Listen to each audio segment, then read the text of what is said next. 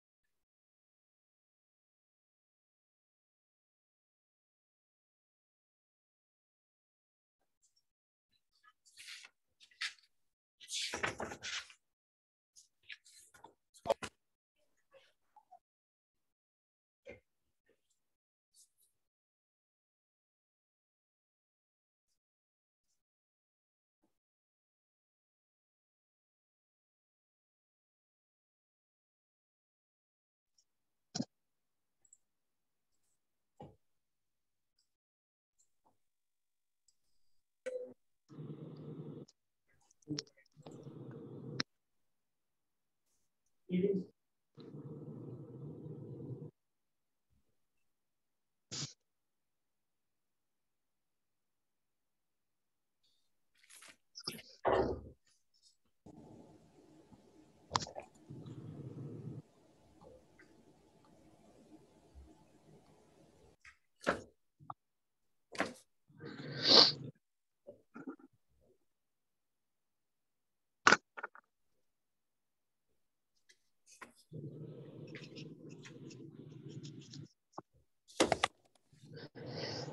All right, I think we'll go ahead and get started. Um, thank you all for attending today's presentation on evictions. Just a couple reminders um, for the presentation today. Um, if you could keep your cameras and audio off during the presentation, that reduces distractions um, throughout the presentation. Um, if you have questions, please type them in the chat box and I will relay them to our presenter um, at the end of her presentation. Also, if you need a certificate of participation or completion for today's training, um, please, they are only given to those who sign in on day of presentation. Please type your first and last name along with your email in the chat at the end of the presentation, and we will be sure to get those out to you. But again, um, certificates are only given to those who sign in on the day of the presentation. Um, first, last name, and email in the chat at the end of the presentation. So with that, I will introduce Christino Christina from um, the Mackoff Kellogg Law Firm in Dickinson, and she will be presenting on evictions. Thank you, uh, Kylie. Good morning, everyone. Um, hope everyone can hear me. Um, want to say thank you for being and uh, offer the opportunity to speak again this year. This, I think, will be the third year in a row that I have done this. And, and so I do uh, enjoy the opportunity to, to give some uh, very simple, very basic uh, legal advice to landlords across the state who are, deal with these issues on a daily basis. Uh, so just want to begin, uh, tell you a little bit about myself. Uh, I'm practicing at the Mackoff Kellogg Law Firm in Dickinson. I have been for about 10 years now. I handle a majority of the evictions, um, represent a lot of clients in Dickinson, a lot of clients um, in uh, uh, Watford City um, and even some up in the Williston area and uh, various um, private uh, entities that uh, act as landlords within the within the Southwest area. So a little bit of everything with regard to the practice. we've we've kind of seen it all when it comes to evictions. So feel free to um, let me know if you have any questions at the very end of the presentation. But just to get a very basic understanding of what an eviction is. Uh, we'll start with that. Um, and so again, um, just let me know if you have any questions at the very end. The North Dakota Century Code does give a very specific definition of what an eviction is and when an eviction can be maintained. And what it essentially is, it's the legal process to recover possession of real estate. And it can happen in various uh, forms under various circumstances. And I've listed them by statute here on the first slide. Uh, first, uh, a party by force, intimidation, fraud, or stealth has entered upon the prior actual possession of real property of another and detains the same. Uh, that very rarely, rarely ever happens. Uh, option number two, a party after peaceably entering upon real property turns out by force, threats, or menacing conduct the party in possession. That also very rarely happens. Uh, number three, a party by force or by menace and threats of violence unlawfully holds and keeps the possession of any real property where whether the possession was acquired peaceably or otherwise. Again, very, very unusual. Number four, a lessee in person or by subtenant holds over after the termination of a lease or expiration of the lessee's term or fails to pay rent for three days following the after the rent is due. That's the, that's the major um, point uh, with the evictions. Uh, that's where we're going to have a situation where uh, the, the lease is terminated by its terms, uh, the individual is still re residing in the unit, or we've got a situation where a tenant is not paying rent. Uh, that's going to be the major one. Yep. Your, your slides are not advancing. Um, it should only be on the second one. It, we just have evictions 101 with your um, with your name on the front. It is showing up on mine. Um, let me try this. Um, is that still showing? Just the evictions 101 is showing right now. Huh. Well, it is moving on my slide. Interesting. Let me try something else here.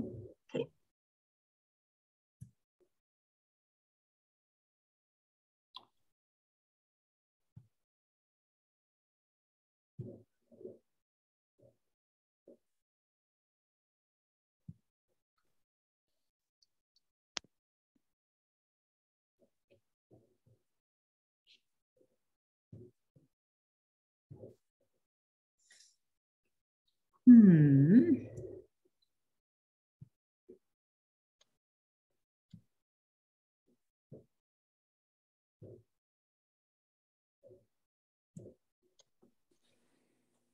If you can hear me, mine says uh, that there's a line through start video.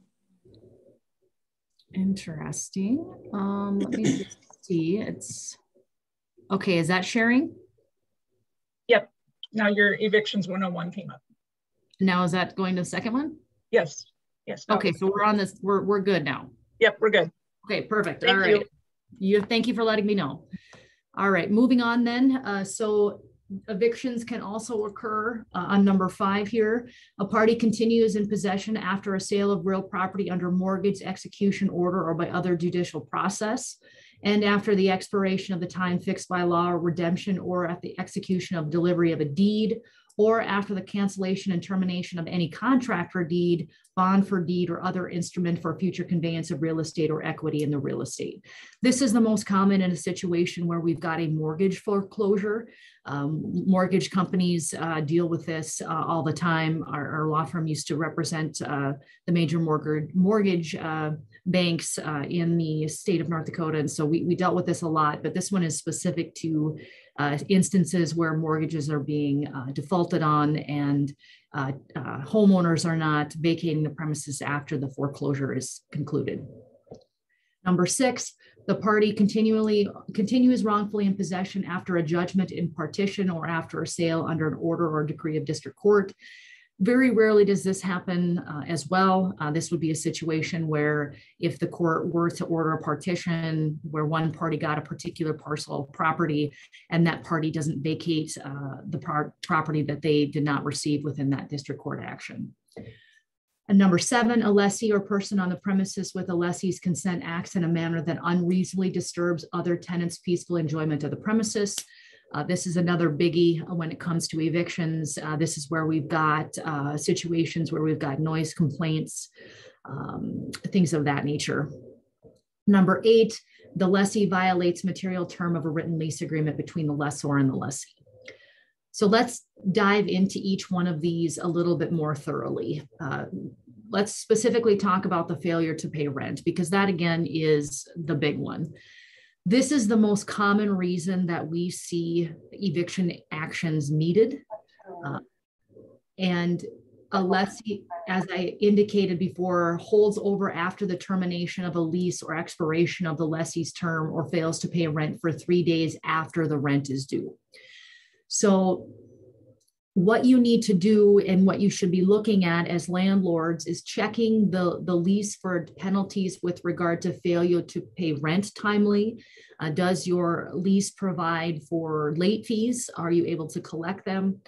And check the lease terms uh, because, again, sometimes your leases have different requirements.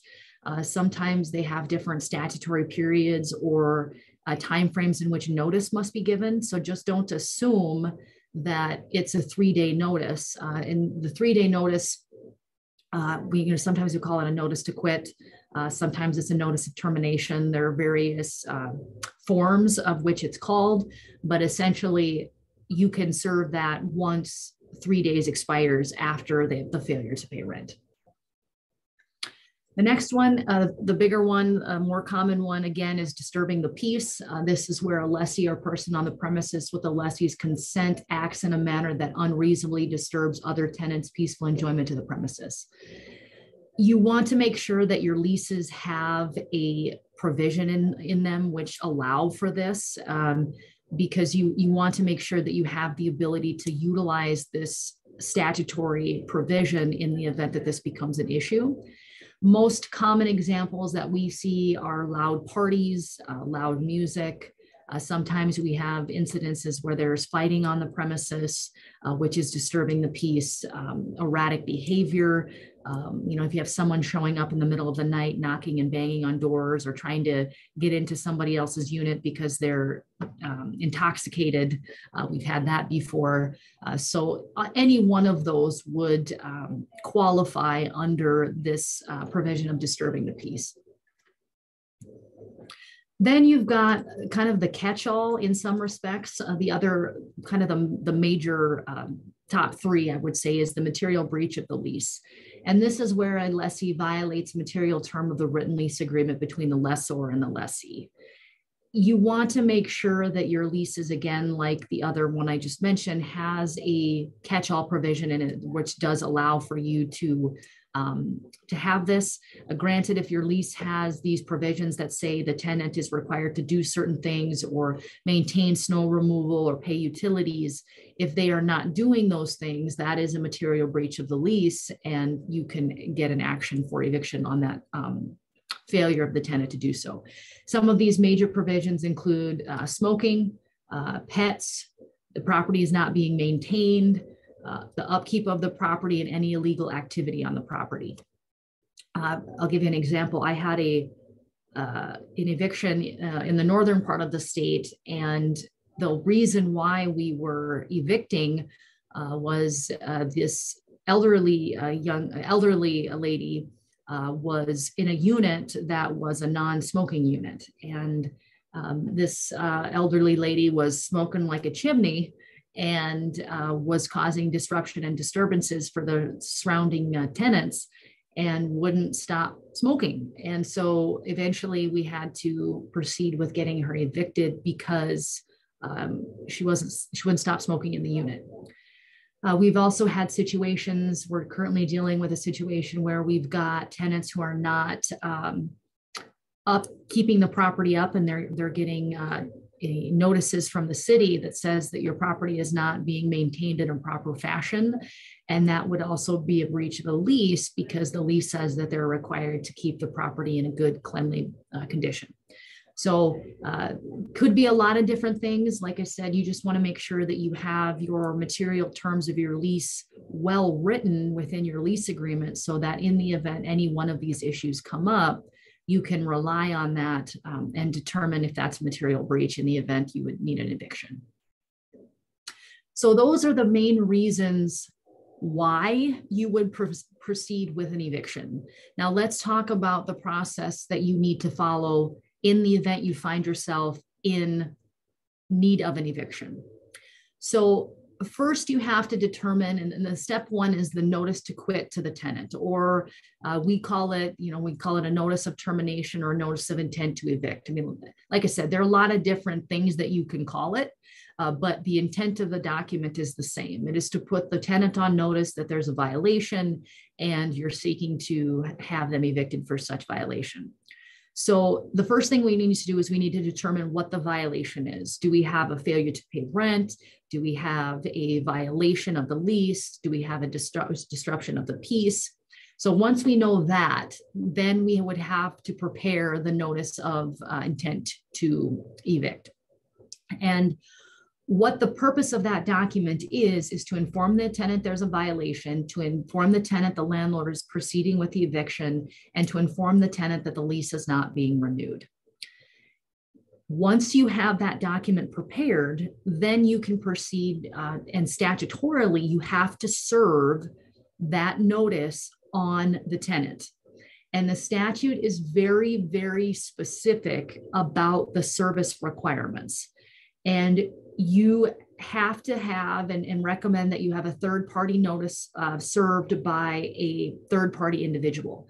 And the statute's very specific uh, that it says, you know, it's a non interested party. Uh, so, what we recommend is we don't recommend landlords serving their own notices to quit. Uh, because you don't want a situation where you've got your word against the tenant's word about whether or not this notice was actually served. So we, we definitely recommend uh, for purposes of uh, avoiding any appearance of impropriety or having anything called into question, you have a third party individual or entity do it. And those can be sheriff's offices or they can be private process servers, uh, whatever is available in your particular area. Uh, certainly recommend it. Um, you know the it is going to cost a little bit to have it done that way probably anywhere from 80 uh, bucks to you know maybe 125 depending on where you're at but in the long run it's better to pay that cost up front in my opinion rather than getting to court and then you have it questioned and then all of a sudden may have to start the process over and now you've just wasted more attorney's fees and time because now you got to start it over. Had you just done it the right way the first way you wouldn't have had to redo it. So there's some cost in it up front but in the back end uh, it makes more sense to just have it done uh, that way and you don't have to worry about it uh, once you have that notice prepared once it gets served on that third party the tenant within that notice is instructed to vacate the property and they're given three days uh, before the landlord can proceed with eviction. Then, once in the event uh, that they don't proceed to vacate, then you have to proceed with the second step of the process, and that's the legal uh, process that involves actually going to court. And that's where we discuss what we call the summons complaint.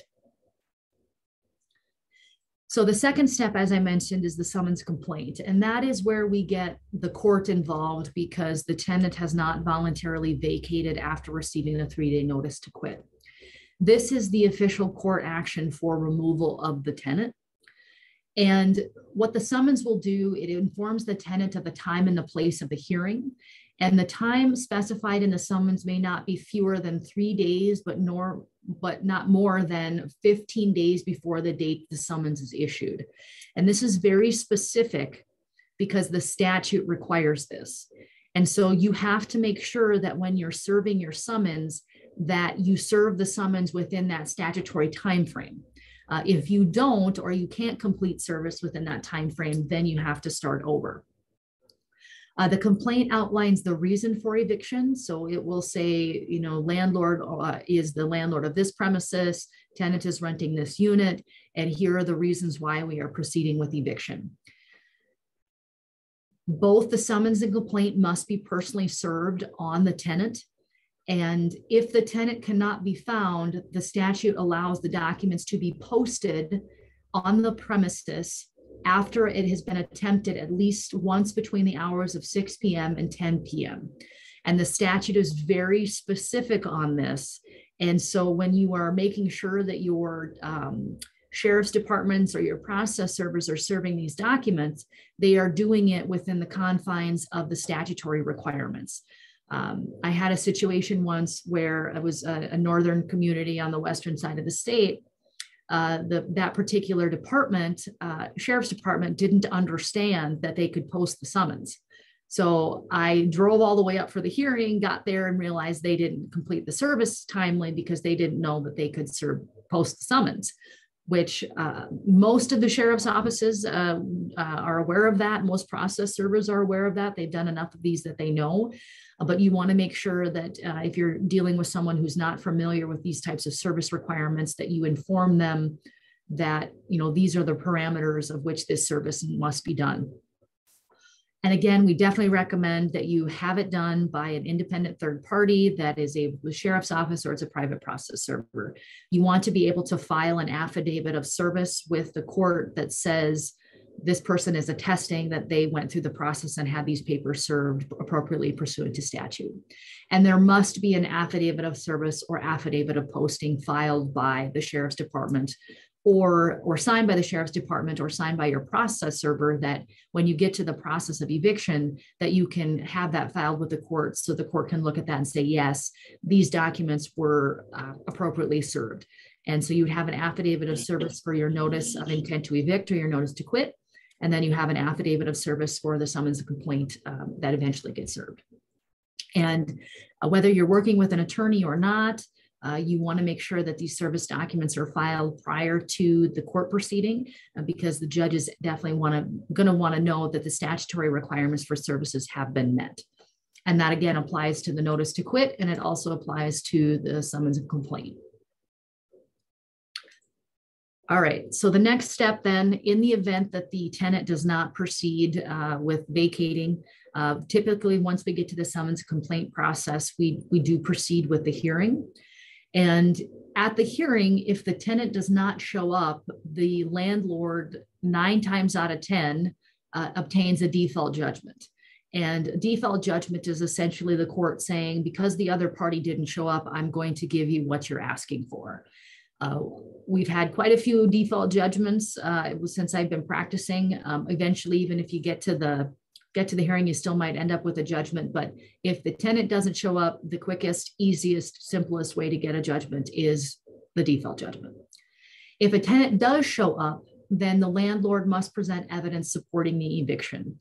And typically, this comes in the form of testimony from a landlord or a property manager. Uh, you often have a copy of your lease available and submitted into evidence. Uh, sometimes you have a ledger of the past due balances, or you have your landlord or your property manager attesting or testifying to the past due balances. And sometimes in situations where it's uh, property disturbances or unkept property, uh, or it's a destruction of a unit, then you would also have photographs that would be submitted uh, to the court as evidence of those types of violations.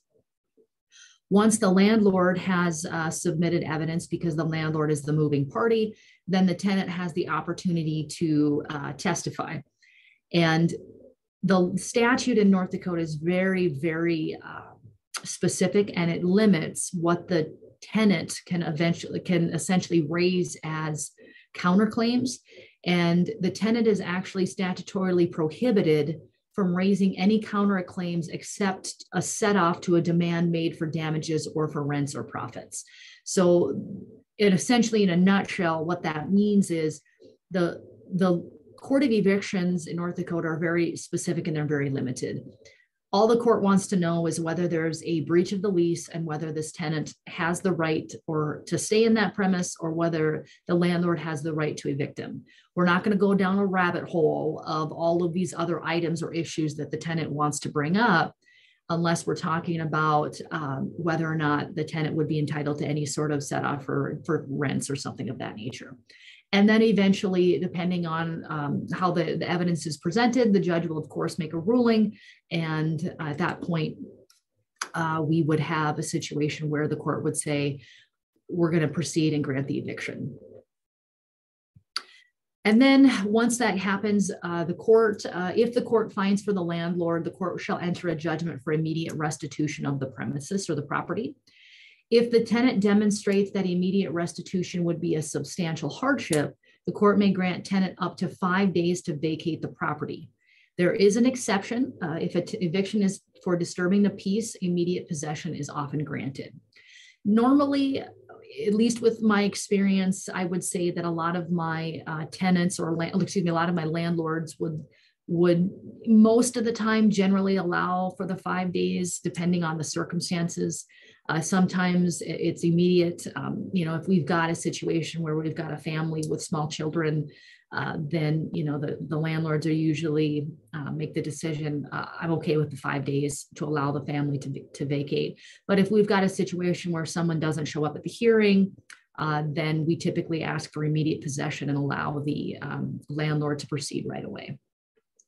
And of course, at the hearing, if there's a landlord has uh, conversations with the tenant and, and maybe they're maybe they're on good terms and maybe this was just a situation where the tenant um, uh, i had one situation one time where the, the tenant was a single father and uh, he was struggling um, a lot of family dynamics.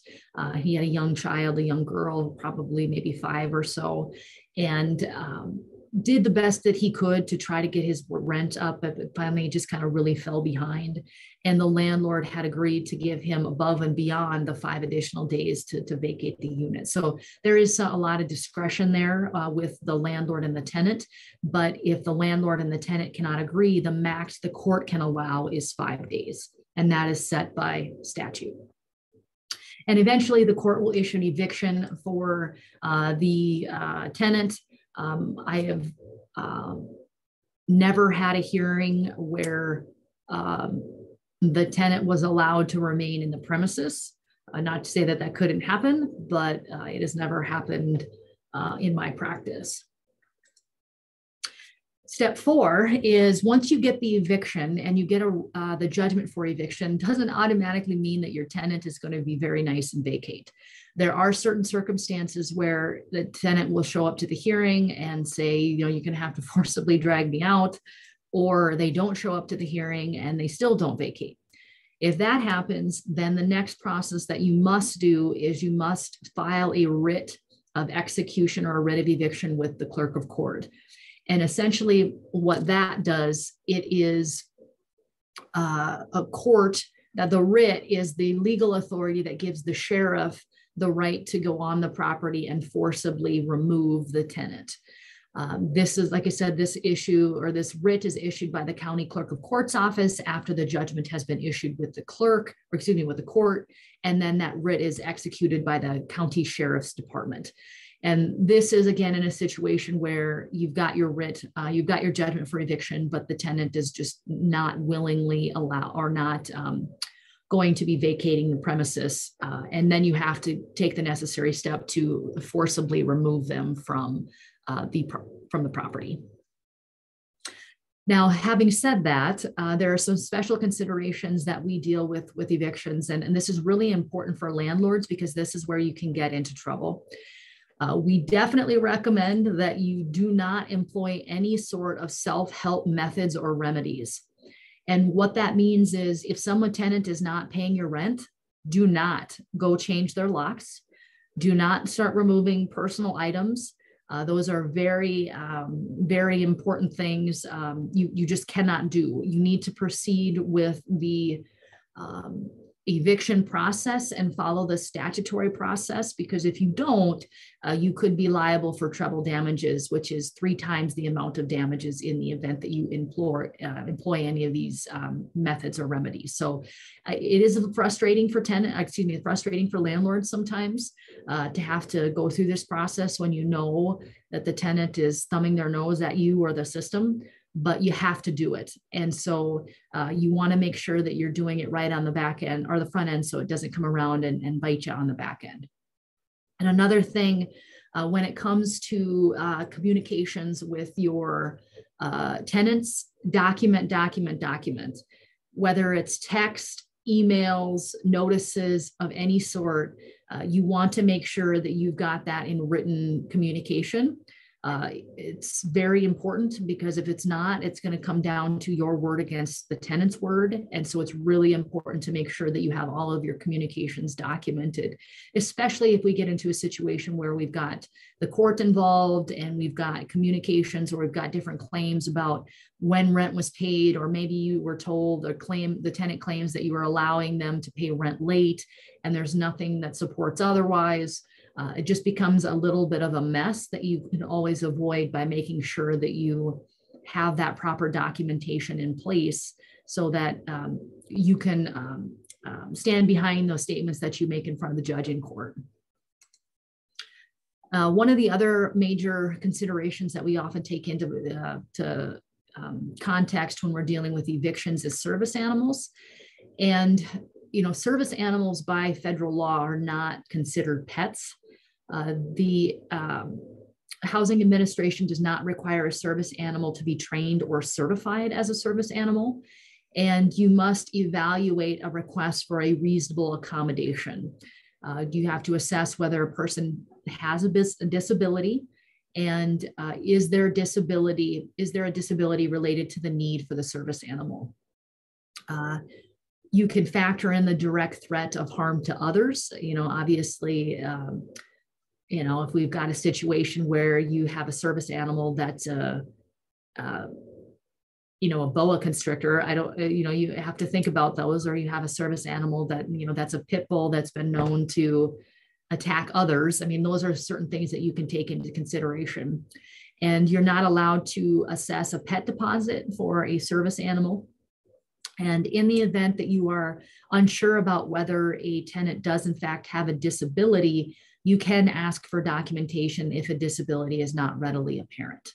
Uh, we we um, before i would say that we very rarely had any incidences with uh, service animals but i think as we're becoming more cognizant uh, as a society with mental health issues uh, service animals are becoming more prevalent and so you might uh, see more of these issues as um, landlords so just something to be uh, you know keeping um, in uh, keeping in the back of your mind as, something that may become a consideration in the future. But again, just kind of the basics. So in the event that these questions get raised, you can certainly uh, answer them the best you can. Uh, we're kind of getting out of the COVID-19 protocols. Uh, so that was a big thing last year and the year before about whether we could proceed with evictions or not. But uh, that has been lifted by the North Dakota courts and um, the federal courts for some time now. So uh, there are no additional restrictions on landlords uh, with regard to um, uh, COVID 19 and not being able to evict a tenant uh, because they're past due on rent. I do know that there are some um, programs. I think Rent Bridge is one of them that I've, I've seen that are assisting um, individuals of still affected by that um, with assistance in rent and things of that nature. But uh, bottom line is, is that there is no uh, statutory or legal law in place that prevents a landlord from now proceeding with an eviction. Uh, we've we've handled quite a few of these. I did quite a few evictions in actually in 2020, the latter part of 2020, as well as into 2021. So um, I think there's been a little bit of a misconception about that with some landlords, but that um, that restriction no, no longer exists. So, all righty. Well, that is uh, the end of my presentation. So again, it was kind of evictions in a short uh, and sweet nutshell. Uh, so if anybody has any questions, I would be happy to answer them.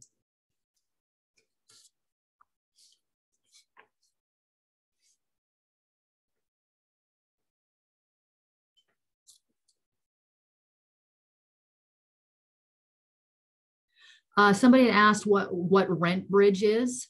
Uh, and I think someone else just responded, but Rent Bridge is a the program that is set up through the North Dakota um, housing, I believe. Um, but it is a program that allows uh, tenants to apply to get rental assistance to um, help with their rent in the event that they qualify under certain circumstances. So um, we have seen it a little bit here in uh, the Southwest area um, especially during COVID-19, uh, but it does require, um, you know, you, the tenant to submit paperwork and things of that nature. It's not automatically guaranteed. Uh, we, we encourage um, tenants to do that. Obviously, we want their rents to be paid, but it is, it is a program that we have uh, seen utilized, at least here in the Southwest District.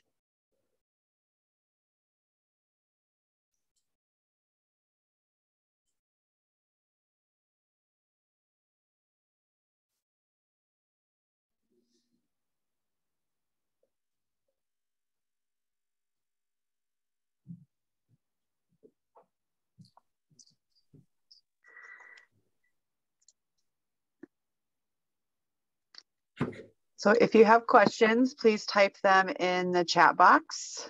Um,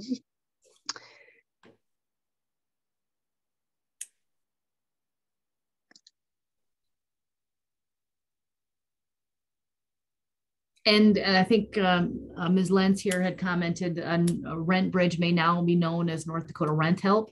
Uh, that is very possible. Um, uh, she's asking whether a, a, person can be evicted without a court appearance. Uh, yes, uh, but you have to make sure that you are giving the proper notices of the notice of intent to evict and the summons complaint. If both of those notices are properly served and then the tenant does not show up for court, absolutely you can get a, a judgment for eviction. It's just that default judgment I was talking about. All right. Um, if renters give permission to have friends, quote unquote, stay, to stay in their unit, but actually renter vacates, can you make the friends leave? Uh, technically, uh, I would say yes. Um, one, you'd want to check and determine whether or not your lease allows for any sort of subleasing, uh, whether there's a uh, written agreement between the tenant and the new tenant. Uh, but if that person does not have the legal authority to be on the property and that prior tenant who did vacated, then you could be in a situation where those new individuals or the friends are squatting on the property. Uh, and then you might be finding yourself in a situation where you would may want to proceed with an eviction or practically if those tenants are uh, in the unit, they're taking care of it and they're willing to pay rent, there might not be anything wrong practically with signing a lease agreement with those tenants. Uh, because then you're you're just getting um, rent and the, uh, the unit is being occupied. So you might want to I definitely recommend you take that on a case by case basis. Uh, if you've got a situation where uh, you know you've got illicit drug use and and the individual who is under the lease ends up in jail, and then you've got you know questionable characters coming in the property um, and staying there and squatting, that would definitely be a reason why you would want them evicted from the premises. And you can certainly do that. Um, and that has happened um, before. What happens or what should a landlord do if an eviction process is started, but the tenant leaves and doesn't show up for the hearing and doesn't show at his residence? This happens a lot. Uh, what we would typically do and what I would recommend is if for some reason you serve the paperwork and you, the summons gets served and the tenant then maybe two or days later something vacates the unit, we would still recommend that the landlord proceed with the eviction uh, and go through the hearing because you want to make sure that you secure the judgment for the rents, the past due rents.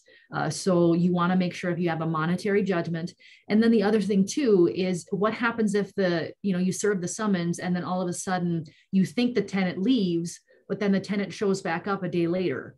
Well, now we've got to start the process over because you've dismissed the, the judicial process. So we typically recommend that you, once you start it, you finish it so that you can get that judgment for eviction in case the tenant shows back up and you get the order from the court for the monetary judgment in the event past due rents are due and owing. If there are noise complaints from neighbors, is there to be prior warning notices first before eviction does take place? I would typically recommend, uh, depends on how the notices is given. I mean, if you have the, the sheriff's office showing up every day or the city's police department because there are noise complaints, the tenant cannot say they weren't aware. Uh, but what we typically recommend in that situation as the landlord, put the tenant on notice that we've received these complaints, document them to the tenant, let them know that they need to rectify their uh, uh, behavior. And if they're not, then eventually there might be some sort of eviction process because they're disturbing the peace of others on the premises. But definitely, it is much better for you as the landlord to always make sure that you are giving proper notice of any issue to the tenant making the tenant fully aware whether they heed your warning or not is on them but you want to make sure that you're doing everything you can to put them on notice. So when you get to a hearing situation, you can attest, Your Honor, I told them on this day, this day, this day, and this day, and this is what I told them, versus I never told them that I would likely evict them in the event of this noise complaint. So it's a way for you to inform the tenant of the consequences and document that you did in the form of a letter or email or text or something, or it's a notice that's posted uh, but letting them know um, because that's going to be a much better position or argument to present to a court in the event you find yourself in that situation. Okay. Um, best way to regain credit if someone is evicted. I notice it's pretty hard finding rentals for people who have gone through an eviction. This, of course, is depending on what they were evicted for. Um, that one is kind of a little outside my scope. I, I, don't deal with any sort of the credit requirements or the credit, um, you know, uh, processes with that. I would assume that there would be difficulty uh, if you have a situation where you've got an eviction on your on your record that's showing up.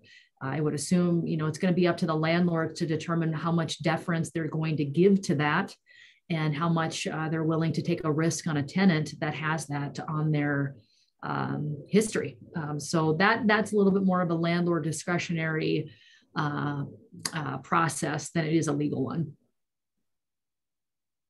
When you have a smoke-free policy for your apartment building and there is a tenant smoking, what are the steps to take to enforce the policy? Well, in that situation, what you would want to do and what I would recommend is to give the tenant notice that you have reason to believe that they're violating the terms and conditions of the, the rental unit, especially if you know if you have a no smoking policy. Um, that would be a material breach of the lease, in my opinion, if it's in there and you have a the lease provides for it. Uh, you would give them notice, let them have an opportunity to correct their behavior. Uh, if they, they, don't and they continue to engage in that type of behavior, then you would serve that notice to quit. And in that notice to quit, that's where you would identify the material breach, which would be the fact that the tenant continues to smoke in the unit. If they don't vacate, then you proceed with the summons and complaint and move forward with that. Is there a local agency that assists tenants with eviction defense cases? Not that I'm aware of. There isn't in uh, there isn't in the Southwest District. Now, sometimes tenants try to get uh, assistance through um, like legal aid or legal services of North Dakota. Um, but I would say 90%, I would say 95% of the tenants that I have dealt with um, representing landlords are not represented and show up um, pro se to these hearings. I very rarely and, and realistically, I mean, the fact of the matter is, I mean, if, if they're struggling to pay rent, they're likely not able to hire an attorney to assist them with defending an eviction. And most of the time, when we show up to these hearings, the court says, Are you in default? I would say nine times out of 10, the tenants are very forthcoming and saying, Yes, I am. And at that point, if that is the case, then we're just deciding how much time the court is going to allow them to remain in the property to, to get their belongings and to vacate. Um, this next question is piggybacking off of the friends question. Um, what about if they establish residency? Um, you know, establishing residency is more of a statutory requirement as far as um, you can be a resident of North Dakota uh, after a certain time frame, but that still doesn't give you the legal right to remain in a premises of which you don't have a lease to. Uh, so, you know, I may be a resident of North Dakota, but I can't go, you know, into the housing unit across the street and and uh, take a unit and just say I'm going to use it. I still have to have the legal right to be there, and that comes in the form of a lease agreement. Uh, so, if they don't have that, and if there's no authority that's been given to them, uh, then at that point, I think you would have the right to proceed with an eviction depending on the circumstances. Um, do evictions stay on your record forever or do they come off record within a time frame? Well, eviction is not a, a criminal uh, case. Obviously, it's a civil one. Uh, so, um, you know, depending on state requirements, uh, I would assume that, um, you know, those, I've seen those stay on there um, you know 20 20 some years. So it really just kind of depends but it's not like a criminal case where you can likely have it expunged or uh, it you know uh, gets dismissed after a certain while. So it could it could have some long-term effects on your financial status as a tenant in the event that you do get one of them if you do get a judgment against you because it is a it's essentially a monetary judgment uh, for the amounts potentially that are due and owing. And, you know, that could be a judgment for several, several thousands of dollars, depending on how much the tenant is behind in rent. If a person is on a month to month lease, the tenant has not been late in paying, can they be evicted for no reason? I'm sorry if you covered this. Someone came into my office. I don't have my dogs at work to keep people from opening my door. LOL. okay, so the question is if you're on a month to month and can you just be evicted for no reason? Yep, the tenant okay. has not, and the tenant hasn't been late in paying. The answer to that is no. So what you would have to do is, is if you're on a month to month, you are allowed to terminate the lease, but you have to give a month's notice prior to termination or prior to changing the lease terms. So if the tenant is um, doing everything they're supposed to, they're paying rent, they're on a month to month, you can't just go to them and say, oh, I'm going to kick you out in three days. Nope, you have to give them notice to say you're on a month to month tenancy. I'm going to give you 30 days notice that I'm either terminating the lease or I'm changing the terms of the lease and you have to give them notice to do that. So and that that's a protection for tenants in that regard because if you are doing everything that you're supposed to you're um, you know you're uh, paying your rent you're a model tenant you know we don't we don't want landlords to be able to you know willy-nilly just you know kick people out. They have to have time certainly to to make arrangements especially if they're not in default. Now if you're in default that's your own fault and you know you've got three days to get out. Um, but if your tenant is again doing what they're supposed to be doing you have to follow the statutory requirements and, and give them proper notice and that's based on the term of the lease that currently exists at the time that you want to terminate um, here's kind of a scenario. I know of a situation where a motel in Jamestown rents rooms on a monthly basis. Tenant has a lease. He fell behind on rent, received notice for hearing. Hearing date was changed to a later date by court. Before court date, he was locked out of the room and all his property thrown in a dumpster. Much was removed prior to tenant trying to recover belongings. What are the steps tenants should take now? Well, um, you know, I think that's kind of be really dependent on the facts and circumstances. Um, because you know depending on the type of lease you know motels are and hotels are quite a bit different than leasing. Um, so i think you have to whether the action that could be taken is going to be very heavily dependent upon what that agreement actually says the tenant's rights are uh, because that is um, again those those are different things whether you're talking an apartment unit or you're talking in a day by day hotel or motel uh, those are two very different legal concepts uh, so without a little bit more information it would be really hard to say but you know that tenant i would assume was given notice of a hearing if the court changes that notice of a hearing, the court is well within its right to do that. Uh, if that tenant shows up or doesn't show up, you know, that's going to be a little bit on the tenant too. I mean, you, you can't not show up for a hearing and expect your voice to be heard. You have to show up and assert your rights. So if that tenant isn't doing that, you're not helping your case by not showing up. Um, but I think the answer to that question, like I said, is, is going to be really heavily dependent upon what that written agreement is with that uh, tenant and landlord about what rights and responsibilities of each of those parties exist. If a tenant has bed bugs and they've done what they can to get rid of them, is it up to them or the landlord to step in with assistance? Can a tenant break their lease if the landlord isn't going isn't doing anything to help? That's a unique uh, situation, uh, one that I can't say that I've ever had come up. Um, but I would say that, you know, at a basic minimum, a landlord is required to make sure that uh, the, the premises that they are renting is habitable.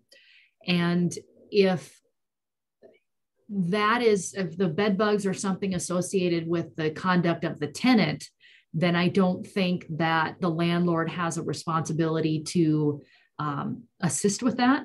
But if the landlord is operating, you know, um, a questionable unit that may not be in the best shape, uh, and there are concerns about the sanitary conditions of that unit, then yeah, that might be something the landlord may have to do. Um, you know, we've had situations where we actually had, now that I think about it, um, uh, I think it was an infestation of some some sort. I don't know if it was bed bugs, but it might have been some other pest. Uh, and the landlord uh, wanted to get in and clean it, and the tenant was not um, cooperating at all. And, and so we finally had to go to the process of going to court and getting them evicted because, you know, the landlord is saying, well, I can't get in there and keep my property up. This is disrupting my property. It's disrupting other, disrupting other uh, neighbors. We've got an infestation. I need to be able to get in there and secure my property. And if this tenant isn't going to cooperate, then it doesn't do us any good to have a tenant in the unit. And so that can be, um, like I said, we, we were able to get one of those evictions uh, through, um, but um, a, a, lot of that is just cooperation between the tenant and the landlord. Um, you don't want to be a landlord that's known for having bed bugs in your establishment, and you also don't want to be a tenant that's known for allowing it. Uh, so the best situation there is a lot of cooperation and communication between the tenant and the landlord. I have a person who is on housing and it's paid in full each month. She does not break the rules, but has complained about black mold and noise from neighbors. They gave her an eviction notice, and I told her she does not have to leave until she has an appearance in court. Did I tell her the wrong information? She had a lease and is now month to month. Well, if if she is if she's received a notice of intent to evict and she hasn't vacated yet, then at that point, um, unless uh, I suppose she could remain in the unit, but once you get that judgment for eviction, or you get that sheriff showing up knocking on your door and saying it's time for you to go, then you have to go. Um, because then now you could potentially find yourself in contempt of court because you're with lawfully or knowingly violating a court order, and that's the writ of eviction. So, um, is it possible that you know tenants try to stay in the units as long as they can to avoid um, getting evicted. It happens all the time but at some point the tenant has to get out. And that's typically after we've again got the judgment or got the judgment got the summons complaint uh, judgment and then we've got the writ of eviction and the sheriff shows up. Okay um, you mentioned service dogs. My understanding is that service dogs must always be certified, but Housing Authority accepts emotional support animals as well that don't need any certification. Is this correct? That's my understanding. Um, I think that the way that the federal rules are set up is that they want to give tenants as much deference in this regard because we're talking about someone's health and, and well well-being uh, and like I said, we have my general perception that we have a society have, have come a long way with regard to mental health. And so I, I think we take it a little bit more seriously. And so I, I think that a lot of deference is going to be given to uh, these types of requests. Um, but you know, emotional support animals, um, we see it all the time, uh, and really, you know, you as landlords have to determine what sort of um, policies you're going to implement and adopt based on the federal rules regarding it and be consistent with it um, and, and make sure that everyone is being treated the same and being treated fairly pursuant to the terms of the law. Um, but again, you know, there are, it's not a free for all uh, by any means. You still have some discretionary decision making, um, but at the end of the day, if, if the tenant or uh, is cooperating and the, the animal isn't causing a nuisance, is not disturbing anyone else, is not causing noise, not a danger to anyone, um, and is not causing any damage in the unit, then then maybe as landlords, it's not that big of a concern. And just so everybody knows, our next week next week's presentation is on service animals and emotional support animals. So any of those questions that you may have, please tune in next week for our training on that topic. Um, next question. In an apartment complex, is there a law that states they have to clean the sidewalks when it sidewalks when it snows? I have a disabled client who can't get out when it snows because she cannot go down the snow covered sidewalk. Um, there's no statutory law on it, uh, but you know, I, I, would think that in an apartment complex, the landlord uh, would, you know, be responsible in a lot of respects for those common areas. It's not like a, um, you know, a house that you rent where you are required to be, um, uh, you know, shoveling your own driveway or your own sidewalk. Uh, you know, there also might be a situation depending on the layout of the unit uh, you know, if it's a one that goes directly from the, you know, the street to the, the, the, the apartment door, you know, that might be more of a requirement. Um, but, um, you know, kind of depends. It also is going to depend on whether your lease agreement provides that the tenant is responsible for that. Um, so um, most of the time, I would say that a lot of the uh, landlords that I've at least dealt with um, take care of that. Um, but again, it's going to depend on the layout of the building It's going to depend on what your lease agreement provides for. Um, so all of those factors are going to take it, be taken into consideration. Okay, um, a follow-up for the motel question. Um, the tenant was locked out before the second hearing date. He hasn't had a chance to not show up. How does he recover damages? Uh, that is a situation where the best thing that you would want to say to that tenant is seek legal counsel uh, because at that point it's really hard to determine what damages might be appropriate or uh, what um, remedies you may have. Everybody's situation is different, uh, but that's why you would want to call an attorney and have the attorney visit with you about what potential options may be available. Thanks. Um, I know a tenant paying rent but not able to stay at his apartment because it is not handicap accessible and the landlord refuses to make it that way. Can he break his lease? Um, I would, uh, I guess I would want to know what the lease agreement provides for as far as the term and the requirements. Uh, those are going to be big ones. Uh, the other thing, too, I mean, I would assume that when the tenant leased the property, the tenant was likely disabled at the time he entered into the lease and knew what the conditions of the property were. Uh, so if that's the case, it's going to be really hard to say after the fact that now it's a problem when it was likely known to the tenant at the time he entered into the lease agreement. Uh, so all of those factors would come into play. Uh, but um, you know that's a situation too where you look at the circumstances and you've got a situation as a landlord where you may have an elderly gentleman who is a double amputee and he's in a wheelchair and the only way to get to and from his apartment is um, stairs and you don't have an elevator uh, do you want to be the landlord that is known for going after a tenant because they got a six month lease and, and the, the gentleman is physically disabled? Um, you know, so there's a lot of practical business sense that comes into that. Uh, that you know is going to determine how you want to handle your properties uh, because if that's the case i mean i would likely say it's not worth it you know at that point to, to proceed with trying to enforce that lease um, you know do the, the the better thing and and maybe allow that tenant out because that that's not going to be something that that tenant is going to be able to handle. Okay so a follow-up to the mold the tenant with the mold um the evict the tenant only received an intent to evict not anything from a sheriff or legal entity it was taped to her door. Doesn't she have the right to be heard in court as to why they are evicting? They did not give her a reason. Well, typically the notice of intent to evict comes first. And then in the event the tenant does not vacate, then that's when they need to proceed with the complaint. So if that tenant hasn't received that document, then they should still be in the unit at that point. Um, because if the tenant receives the document and vacates, that's on the tenant.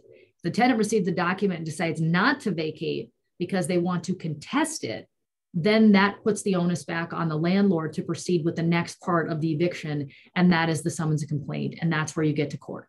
That's where the tenant has the right to make their arguments.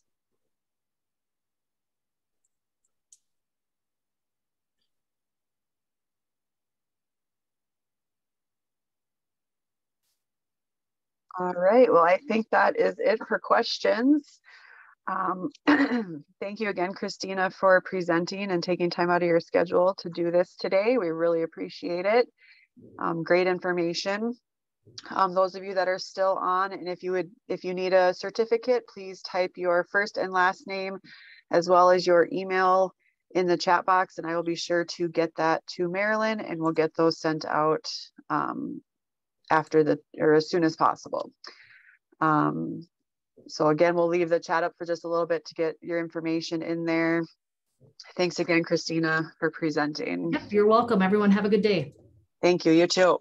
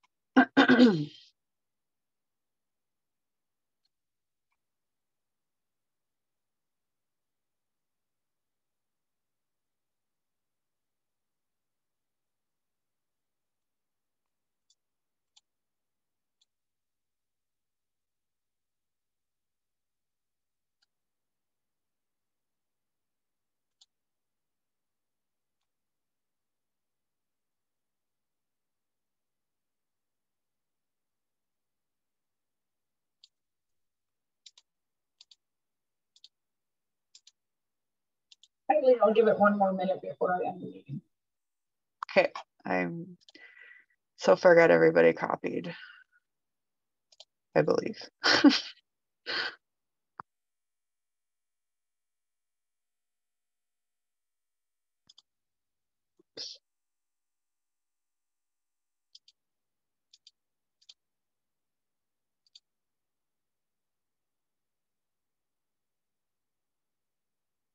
All right, I think, let me double check one more line.